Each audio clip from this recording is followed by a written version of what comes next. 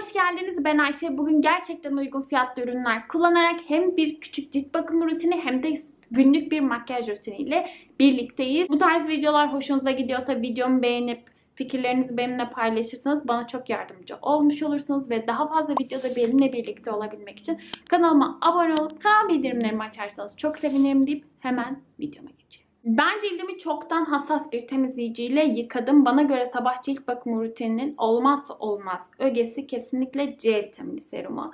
Yaz aylarında C vitamini serumunu kullanılmaz diye bir algı var. Ben yaz kış fark etmeksizin kullanıyorum. Eğer güneş kreminizi doğru şekilde kullanıyorsanız C vitamini serumu size güneş kreminizin etkinliğini daha çok arttırdığına daha fazla yardımcı olacaktır. Ve daha önce defalarca anlattığım Lavit markasının C vitamini serumunu kullanacağım bugün. Hem bu içerisinde niasinamid hem e, sodyum askorbil fosfat formunda C vitamini ve pantenoller içeriyor. Yani eğer C vitaminine yeni başlayacak bir kişiyseniz de rahatlıkla tercih edebileceğiniz C vitamini vitaminin daha hassas bir formu diyebiliriz. Paketlemeleri de değişmiş. Bende bu eski hali vardı. Bunu da yeni aldım. C vitamini serumlarınız antioksidanlar açısından zengin olduğu cildinizi serbest radikallere karşı koruduğundan ve güneş kreminizin etkinliğini arttırdığından sabah cilt bakım rutininizin olmazsa olmazlarından bir tanesi olması lazım. Özellikle Levitin bu serumun içerisinde hem niasinamid hem C vitamini bir arada olduğu için e, benim denediğim o bir sürü son dönemdeki güneş kremleri cildime bazıları sivilce olarak geri döndüğü için e, şu anda lekelerimin görünümünü azaltmamda da yine bana aynı şekilde yardımcı olacak serumlardan bir tanesi. Ardından bir nemlendirici ile devam edeceğim. Ben burada Lavit'in anti bilemiş kremini kullandım. Nemlendiricimizi sürdük. Tabii ki de güneş kremimiz olmazsa olmaz. Hermaderm'in Tonen Spot güneş kremini kullanacağım bugün. Bu içerisinde SPF 50 içeren hibrit yapıda olan bir güneş kremi. Cildinizi UVA, UVB ışınlarına karşı koruduğu gibi aynı zamanda kızılötesi ve mavi ışığa karşı da koruyor. Birçok bitki ekstraktı içeren bir ürün. Aynı zamanda içerisinde su de var. Cildinize çok kolay şekilde yayılan, kesinlikle böyle ilgilenme problemi yaşamadığım bir ürün. Eğer cildinizde yağlanma problemi çok fazla yaşıyorsanız makyajınızın kalıcı olmadığından şikayetçiyseniz kesinlikle makyaj rutininize bir baz eklemenizi tavsiye ederim. Uygun fiyatlı bazlar içerisinde gerçekten makyajınızın kalıcılığını arttıran ama cildinizi aşırı derecede kurutmayan benim en sevdiğim bazlardan bir tanesi bu Wet n Wild'ın Impossible Primer Base'i. Her şeyi bir arada yaptığını da söyleyebiliriz. Ben bunu sadece ve sadece T bölgeme uygulamayı tercih ediyorum. Benim cildim gün içerisinde yağlanırsa sadece bu bölgelerde yağlanıyor zaten.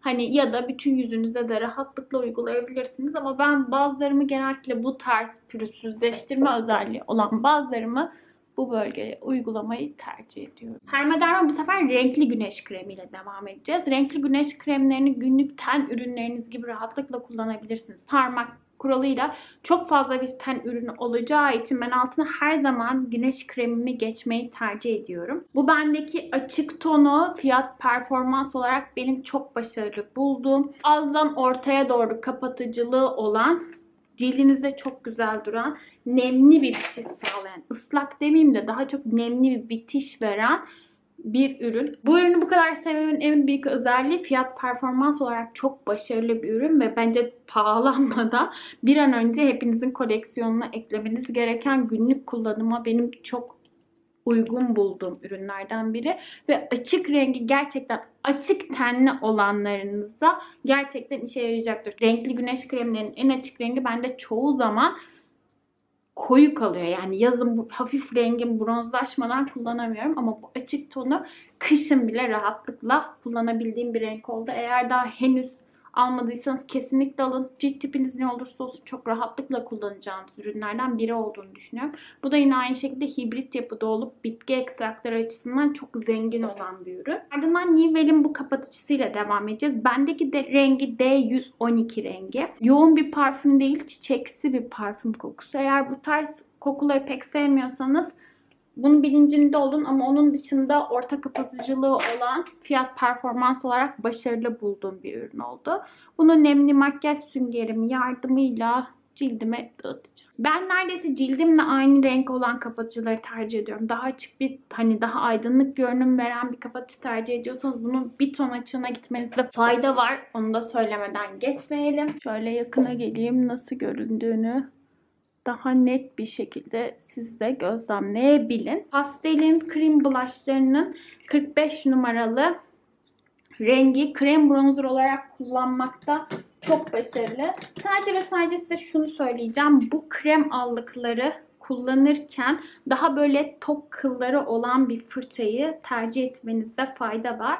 Bu daha böyle satenimsi bitişi olan bir e, krem ürün. Yani yağlı bir cildiniz bile olsa rahatlıkla kullanabilirsiniz. Bende yaklaşık 4 saat falan kalıyor. Hiçbir şeyle sabitlemez ve altına bas kullanmasa.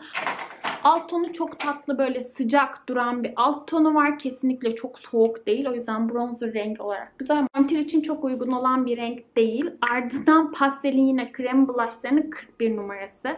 Bu yeryüzünün en tatlı renklerinden bir tanesi olabilir. Yine aynı fırçayı alacağım. Birazcık böyle Nars orgazm havası olan içerisinde tatlı ışıltıları olan bir allık. Bir numarası elinizde yoksa kesinlikle alın.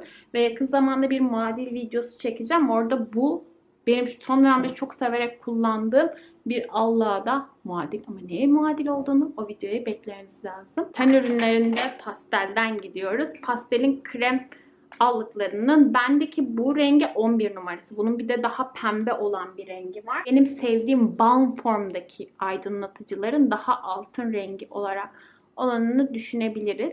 Yani pigmentten daha çok, metalik bir bitişten daha çok sanki cildiniz güzel bir şekilde e, terlemiş etkisi alıyorsunuz. Videoda en pahalı ürün kesinlikle bu ama renk kombinasyonu olarak çok başarılı buldum ve çok amaçlı bir far paleti olduğuna indirimde kesinlikle kaçırmayın bunu. Bu Makeup Revolution'ın Forever Flawless'ın Affinity adlı rengi. Buradan hemen şu Reveal rengini alacağım. Bu içerisinde pembelik içeren çok tatlı bir kahve. Bunu kriz bölgem boyunca uygulayıp göz kapaklarıma bir derinlik kazandıracağım. Daha böyle küçük ucu olan Sigma 25 tarzında bir fırça alacağım. Ve buradaki Bond rengini alıyorum.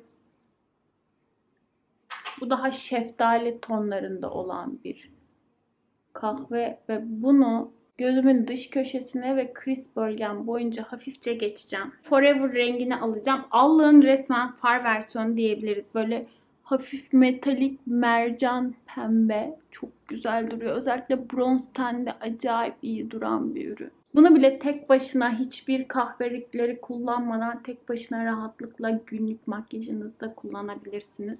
Tabii ki de bir makyaj videosu çekip benim kızıl kahve göz kalemi kullanmayacağımı düşündüyseniz çok ama çok yanılıyorsunuz. Beolis'in MAC Costa Ricci'ye de muadil olan 201 numaralı dudak şey, göz kalemini alıyoruz ve bunu kirpik dibimiz boyunca uyguluyoruz.